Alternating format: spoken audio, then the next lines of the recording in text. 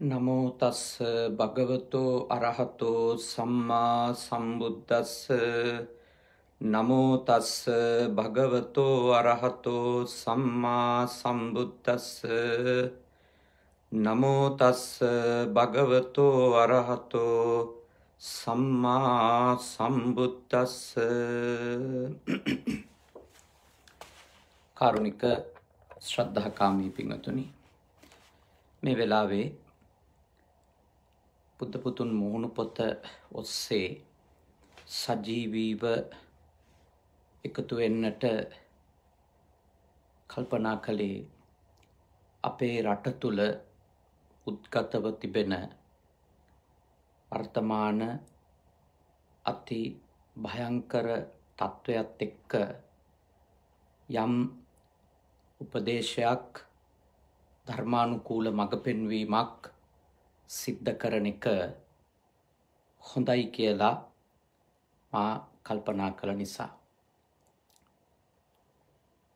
අපේ රට අද මේ මොහොත වන විට පවතින්නේ රටත් රටේ ජනතාවත් ඉතාම අවාසනාවන්ත සහ දුෂ්කරම කේදනීයම අවස්ථාවකට මුණ දෙමින්. දසක දෙකකට අධික කාලයක් පුරා පැවති ආර්ථික දේශපාලනික සමාජ අර්බුදය පොපුරා යමින් තිබෙනවා. සාමකාමී අවිහිංසාවාදී අරගලයක් ලෙස ආරම්භ වුණු ඒ වැඩපිළිවෙලට අපි බලා සිටියා පසුගිය දින දේශපාලඥයින්ගේ මැරවර කණ්ඩායම් ඉදිරිපත් වෙලා පහරදීමත් එක්ක ඉතාම රළු සහ දරුණු තත්ත්වයක් රට තුළ වේගයෙන් උද්ගත වෙමින් තිබෙනවා. ඊයේ ඉතාම තීරණාත්මක දිනයක් හේතුව හමුදාවට කලහකාරී ක්‍රියා කරන එවැනි හැස්සිරීම් වල නියලෙන ඕනම කෙනෙකුට වෙඩි තබන්නට දඩුවම් කරන්නට අවශ්‍ය කරන නිත්‍යානුකූල අවසරය ලැබිල තිබෙනවා. ඒ ප්‍රවෘතිය දැක්කට පස්සෙ තමයි මකල්පනා කළේ ඔබට කතා කරන එක අපේ තරුණ දරුවන්ට යම් පනිවුඩයක් දෙන එක හොඳයි කියලා. මට මතකයි අපි පුංචි කාලේ අවුරුදු අටක් විතර මගේ වයස එක්දස් නමසය අස්සු අටේ අපි දැක්ක අපේ ගම්වලට හමුදා බලෑනි වරින් වර වරින් වර පැමිණෙනවා. ඒ අවස්ථාවල ඔවුන්ට මේ ඊයේ ලබාදීපු බලතලය ලබාදීල තිබුණ. අපි පුංචි කාලි ස්කෝල යනකොට පාරවල් අයිනේ වෙඩි තියලා මරලදාපු මිනිස්සුන්ගේ මලකඳන් ටයර් සෑයවල් මත දැවෙනව අපි දැක්කා. බල්ලෝ කපුටෝ ඒවයින් මස් වැදලි ඇදගෙන යමින් තිබෙනවා.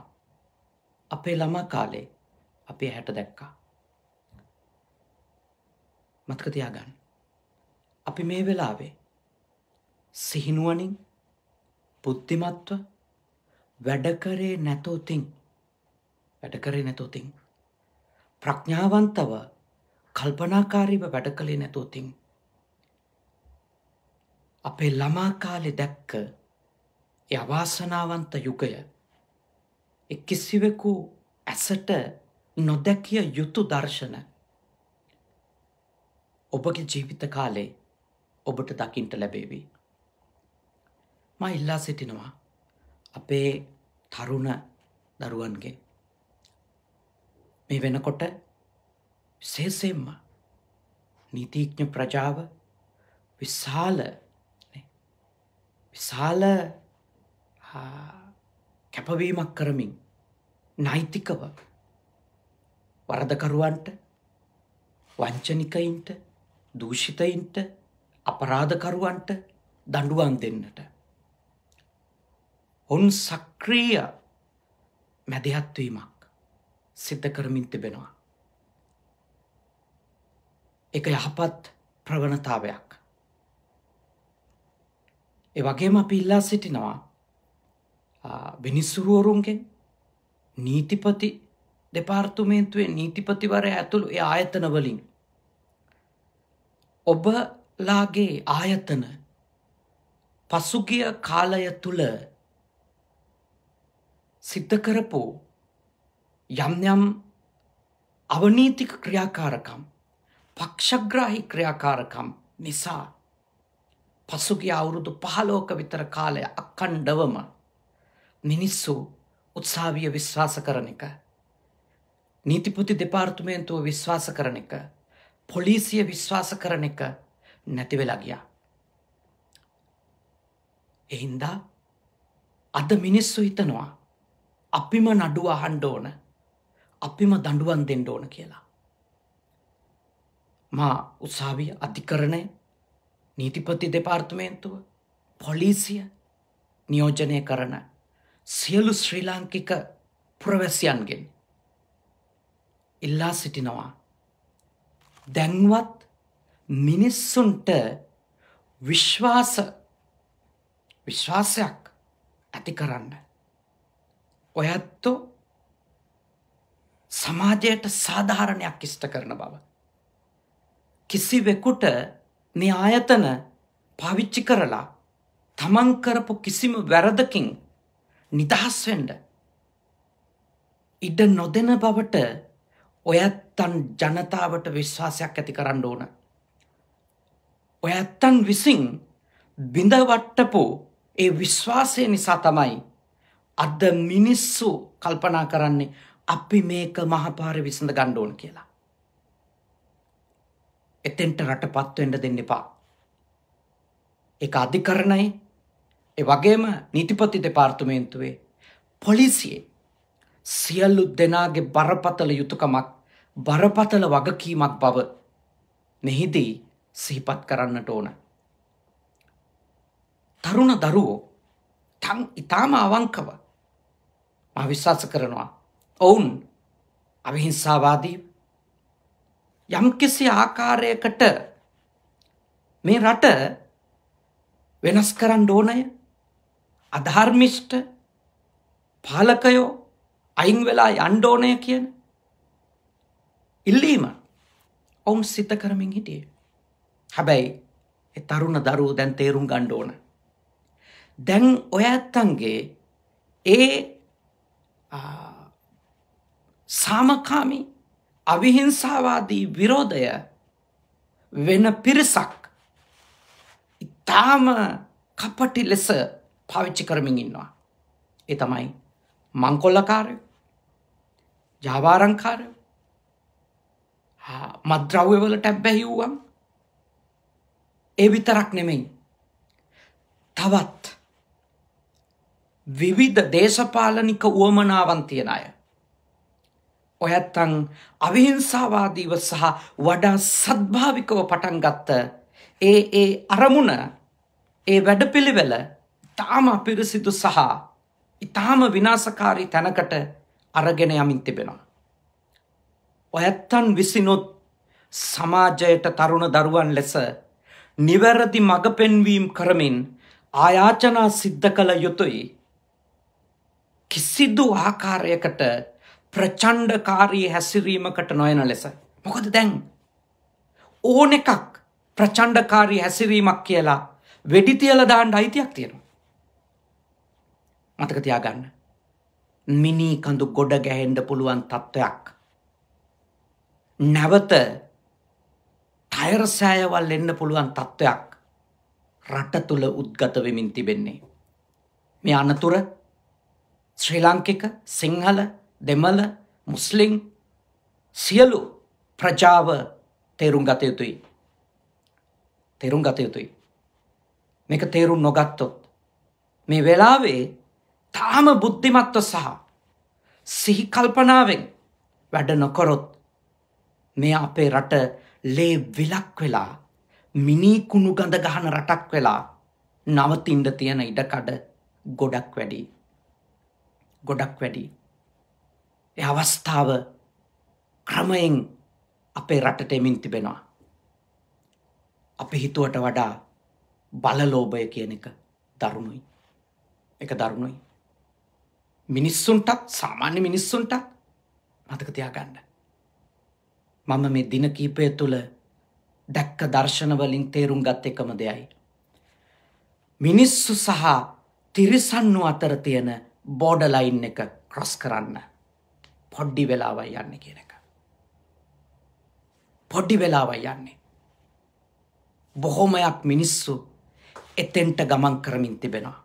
ඇත්ත පොදුවේ මිනිස්සුන්ට විශාල තරහ විශාල වෛරයක් විශාල ක්‍රෝධයක් අසාහනයක් අතෘප්තියක් තියෙනවා.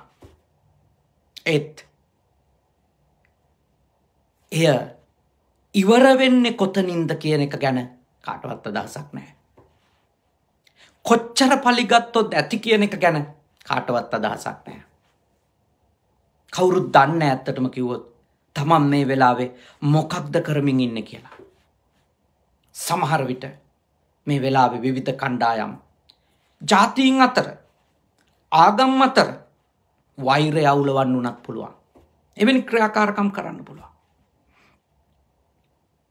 එවැනි ක්‍රියාකාරකම්වලට තුටු දෙන ඇවිලිල යන හැසිරීම් වල නියලෙන්ඩ පුළුවන්. එක මතක තියාගන්න.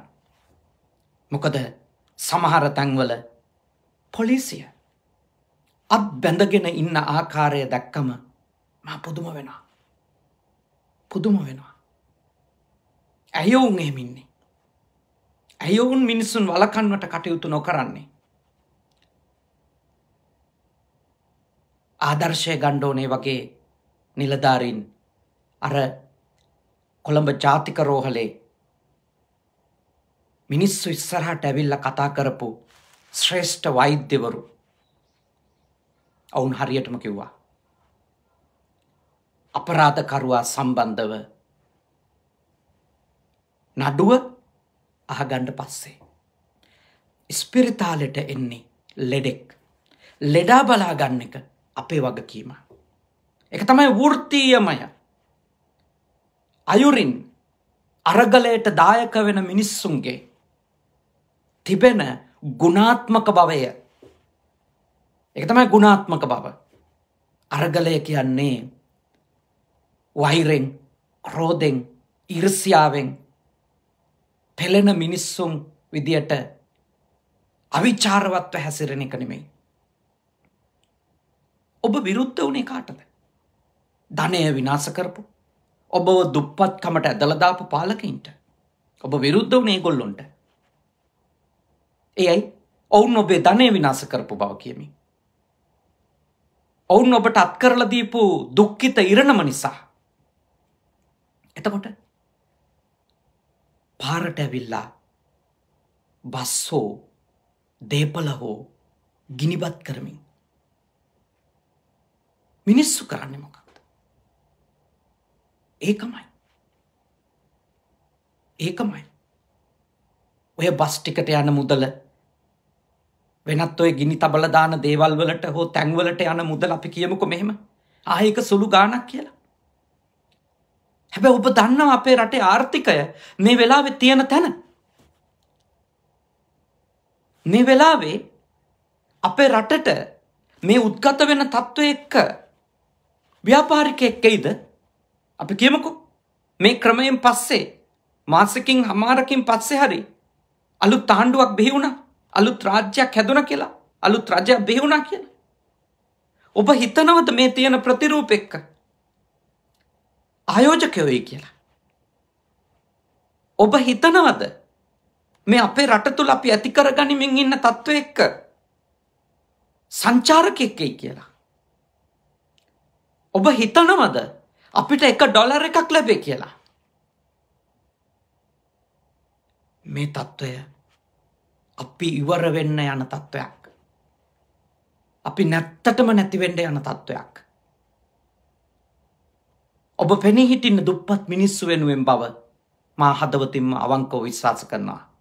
ඒත් දුප්පත්කමේ පීඩාව ඉන්න මිනිස්සු තවත් දුගී කමට ඇදල වැටෙන් ඇද වැටෙන්ඩ පුළුවන් මේ හැසිරීම් දිගට ගියොත් මේක තේරුම් ගන්න. මේක සෙල්ලමක් නෙමෙයි. මේක සෙල්ලමක් නෙමෙයි. මේ අපි කාගෙවත් ඇගේ පතේ හයිය පෙන්න ගන්න තියෙන අවස්ථාවක් නෙමෙයි. අපේ තරුණ දරුවෝ පොලිසිය වෙන්න යන්න එපා. අධිකරණය වෙන්න යන්න එපා ඔගොල්ලෝ ඔගොල්ලොන්ට මම බොහොම ආදරෙන් ඉල්ලා සිටිනවා. ඔගොල්ලුන් නීතිය යුක්තිය පස්සිඳලවන්න ඔගුල යන්න එපා. එක පස්සිඳලවන්න කියලා. අවිහිංසාවාදීව මාසයක් කිල්ලවා වගේ එල්ලන්ඩ ලැබුණනන් ජයග්‍රහණයක් ලැබුණේ ඒ අවිහිංසාවාද ඉල්ලීම ඇතුළේ මතක තියාගන්න. මෙතනින් එහාට පටන් ගන්නේ පරාජය. ජයග්‍රහණය නෙමේ පරාජය. රට තුළ කලහකාරී තත්ත්වයන් වැඩිවෙන්න වැඩිවෙන්න අවිහිංසාවාදී ඉල්ලීම් කරන කෙනෙකුටවත් පාරට එන්න ඉඩක් නැති වෙනවා. ඒක ඔබ අකමැති පිරිසටම ඔබ අවස්ථාවදීමක් බව ඔබ මතක තියාගන්න. හමුදාව විශේෂ කාර්ය බලකාය ඔවුන් සියලු අවි අත දරා ඉන්න පිරිසක්. ඔවුන් සිවිල් සමාජයේ ප්‍රශ්න විසඳන්න පුහුණු කරපු පිරිසක් නෙමෙයි. ඔවුන්ගේ වැඩිපුර පුහුණුව තියෙන්නේ ත්‍රස්තවාදී ක්‍රියාකාරකම් මැඩලන්ඩ. හැබැයි අපේ රටේ හමුදාව මානුෂීය ගුණාංගතින් සැලකිය යුතු දියුණුවක් සහිත පිරිසක් ලෙස ඉන්න නිසා මහිල්ලනවා හමුදාවේ සියලු සෙබලුන්ගෙන් සියලු නිලධාරීන්ගෙන් මේ වෙලාවේ ඔබ ගන්න හැම්ම ක්‍රියාමාර්ගයක්ම නැවත හිතන්න නැවත හිතන්ඩ නැවත හිතන්ඩ මේ ආවුදය මම පත්තු කරන්නේ කටද කියලා. ආවුදය පත්තු කරන්නේ නැතුව ගිනිියාවිය පාවිච්චි කරන්නේ නැතුව ඔබගේ උපරිම ශක්තියෙන් ඔබට තියෙන ගෞරවයි මිනිස්සුන්ගේ ලොකු ගෞරවයක් හමුදාවට තියෙනවා. අන්නේ ගෞරවය පාවිච්චි කරලා ඔබ මිනිස්සුන්ගේ කොළහල තත්ත්වයන් හෝ අවිනය තත්ත්වයන් මැඩලන්ඩ සියට සීයක්ම වගවෙන්ඩ කියලා මාත්‍රවිධ හමුදාවෙන්ම ඉල්ලා සිටිනා වෙඩිතියාගෙන යනක අමාරු දෙයක් නෙමෙයි. ඔබ යුද්ධ බිමඉදිත්ති. ඔබ මිය යයි කියලා බයේ ඔබ අහිමි වෙයි කියලා බයේ ඔබේ බිරිඳ ඔබේ දරුවෝ ඔබේ අම්මා ඔබේ තාත්තා කොච්චර බයෙන් අසහනෙන් දුකෙන් නින්දක් නැතුව ගෙවපු රාත්‍රීන් තියෙනවාද. ඔය පාරට ඇවිල්ල ඉන්නෙත් කාගේ හරි දරුවෝ. කාගේ හරි සැමියෙක් කාගේ හරි බිරිඳක් කාගේ හරි තාත්ත කෙනෙක්. මේ වෙලාවේ මිනිස්සු හැසිරෙන විදිේ මිනිස්සු දන්නෙත් නෑ. මොකක්ද කරන්නේ නොකරන්න කියලා එමිනිස්සුන්ට තේරුමක් නෑ. කවුරු හරි ගහමු කිව්වන් ගීල ගහනවා. කවුරු හරි ගිනිතියමු කිව්වම් ගිහිල්ල ගිනි තියනවා. එ අතර පුද්ගලික කෝන්තර පිරිමහ ගනිමින් ඉන්නවා. මාත්‍ර විධ හමුදාවන් ගෙම්ම ඉල්ලා සිටිනවා ඉල්ලා සිටිනවා ඔබ බුද්ධිමත් වෙන්න. ඔබ මිනිස්සුන්ට වඩා අඩි දහයක් ඉස්සරහින් ඉන්න. ඔබ මිනිස්සුන්ට වඩා අඩි දහයක් ඉස්සරහින් ඉන්න අඩුම.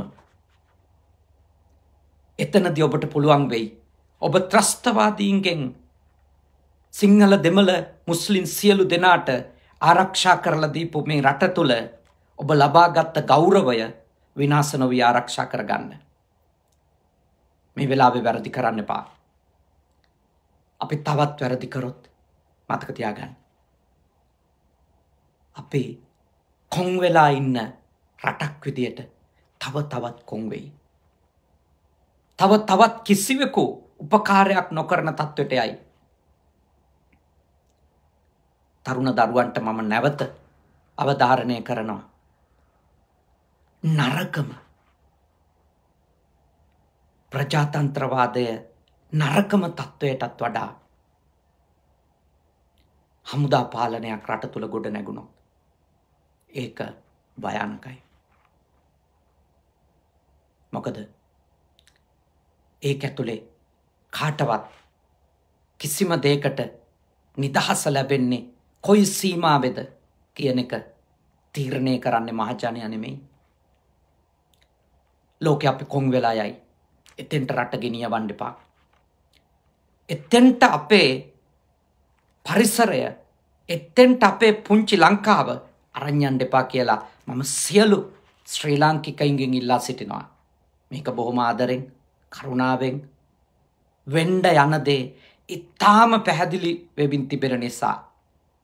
නිරවුල්ව පේන නිසා කරන කරුණික ඉල්ලීමක්.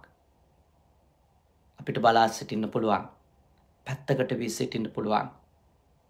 ඒත් මයිල්ලා සිටිනවා මේ වෙලාව අපි වැරදියට හැසුරුණොත්. අපි කාටවත් රටක් සමාජයක් මුකුත් ඉතුරු වෙන්නේ. පාලකයෝ තේරුම් ගත යුතුයි දැන් තමුන්නාන්සලට කවුරුත් කැමති නැති බව. දැන් තමන්ගේ තනතුරු තානාන්තරවලට ආයුබෝවන් කියලා මිනිස්සුන්ගෙන් සමාවරගෙන තමන් කරපු වැරදි තියෙනවා නම් ඒවට නෛතිකව මුහුණ දීලා ඒ ප්‍රශ්න විසඳා ගන්ට පාලකයෝ කටයුතු කළ යුතුයි. නීතියට මුහුණ දිය යුතුයි. වගේම ඉක්මනින්ම මැරකණ්ඩායම් ඒ නිරායුද මිනිස්සුන්ට සාමකාමි මිනිස්සුන්ට පහරදීපු මැරකණ්ඩායන් අත්තඩංගුවට ගැනීමට පලිසිය සහ ඒ අනිකුත් යුක්තිය නීතිය පසිඳලන ආයතන අනිවාර්යෙන්ම ක්‍රියා කළ යුතුයි. මිනිස්සුන්ට ඉක්මනින් පෙන්විය යුතුයි. එයා ඇමති කෙනෙක්ද? එයා තානාන්තරය මොකක්ද? පොළඹවපු අය? නායකත්ව දීපු අය? පහරදීම් කරපු අය? එ සියලු දෙනාට නීතිය යුක්තිය අනිවාර්යම අධිකරණයක් තුළ විසඳිය යුතුයි පසිඳල විය යුතුයි. එකනුයි මිනිස්සුන්ගේ විශ්වාස ගොඩනගෙන්නේ. එනිසා අවසාන වසේ මා ඔබට ඉල්ලා සිටිනවා. ඔබ ලබපු යම් ජයග්‍රහණයක් තිබුණ නම්. ඒ සියලු ජයග්‍රහණ ඔබ අවිහිංසාවාදීව සිද්ධ කරපු ක්‍රියාකාරකම්වල ජයග්‍රහණ මිසක. ඔබ අවිචාරවත්ව කරන කරපු ක්‍රියාකාරකම් වලින් ලැබුණු ජයග්‍රහණ නෙමෙයි. මේ වෙලාවේ ඔබගේ අවිචාරවත් හැසිරීම් උපකාරවත් වන්නේ ඔබ එරෙහිවන සමාජයටමයි. ඔබගේ අපරාධකාරී හැසිරීම් උපකාරවත් වන්නේ ඔබ එපාය කියන බලවේගයටමයි බුද්ධිමත්වෙන්න. සියලු ආගම්වල ආගමික නායකවරුන් මේ වෙලාවේ මිනිස්සුන් ආරක්ෂ කරන්න. තමන්ගේ පලාත තමන්ගේ ගමේ මිනිස්සුන් සාමකාමීව සහ අවිහිංසාවාදීව කටයුතු කරන තැනට පොළඹවා ගන්නට වීර්ය කළ යුතුයයි මා යෝජනා කරනවා. හැම අම්ම කෙනෙක්ම හැම තාත්ත කෙනෙක්ම තමන්ගේ දරුවන්ට බුද්ධිමත්ව මේ දේවල් තෝරලදීම අවශ්‍ය වෙනවා. මොකද තව සතියක් තව සති දෙකක් නේද. තව සතියක් හෝ තව සති දෙකක් මේ තත්ත්වය ගියෝතින් අපි කවුරුත් ලොක්කු අනතුරකට වැටිලා. අපිට රටක් කියල දෙයක් ඉතුරු නොවෙන තත්ත්වයට පත්වෙයි. ඉන්න දැනවුගත් පරම්පරාවත් පාරවල් වල මැරිලයයි. ඉතුරු වෙච්ච ඒ බුද්ධිමත් රටක් සමාජයක් ආරක්ෂා කරගත හැකි දියුණු කරගත හැකි ඒ ප්‍රජාව අපිට අහිමි වෙයි. මතක තියාගන්න. දේපල කවදහරි නිර්මාණය කරන්න පුළුවන් වෙයි.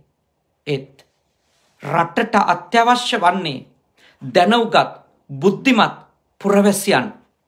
ඒ පුරවැසියන් ප්‍රඥාවන්ත දැනුම තියෙන කුසලතා තියෙන හැකියාවන් තියෙන ඒ පුරවැසියන් මහමග විනාස වී ගියොතින් අපේ රට තව දස්සක ගානකටවත් ගොඩගණ්ඩ කෙනෙක් ඉතුරු වෙන්නේ නෑ. ගොඩගන්න පිරිසක් ඉතුරු වෙන්නේ නෑ. එනිසා බුද්ධිමත් වෙන්න. සිහිනුවනින් ඉන්න. අපි කිසිදු දේශපාලන පක්ෂයකට පෙනී සිටපු අයවත් පෙනී සිටින අයවත් නෙමෙයි. අවුරුදු පහලෝකට කලින් දේශපාලනය කල්ලා තියෙනවා. නමුත් අපි අඳුන ගත්ත අය කොච්චර මුඩු හිස් අර්ථ සූන්‍ය ක්‍රියාවන්ද කියන එක. එනිසයි දහම් කරුණක් විතරක් කියලදීලා නිශ්ශබ්දව අපේ ශාසනික කටයුතුවල අපි යෙදීන්නේ.